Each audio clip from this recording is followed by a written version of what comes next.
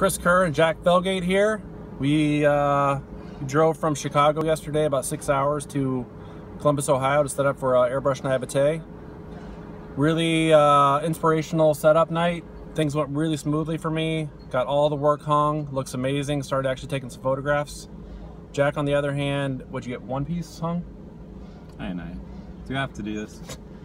Yeah, back in uh, Skylab Gallery. Show's looking really good. Got uh, all my canvases hung up actually really quickly last night. Didn't take too long at all. There's Jack. Things aren't going well. He's uh, still trying to hang his work up. Jack's not really feeling it. He's having a rough time. Um, we actually went to Lowe's. Uh, Jack's first experience at Lowe's. They don't have Lowe's in um, in England where he's from. Did you, did you like the hardware store? Did you find any cool stuff? The camera on. Just say something cool like, "Hey, I'm having fun in America," or "Hi, America." That works. Yeah, there you have it.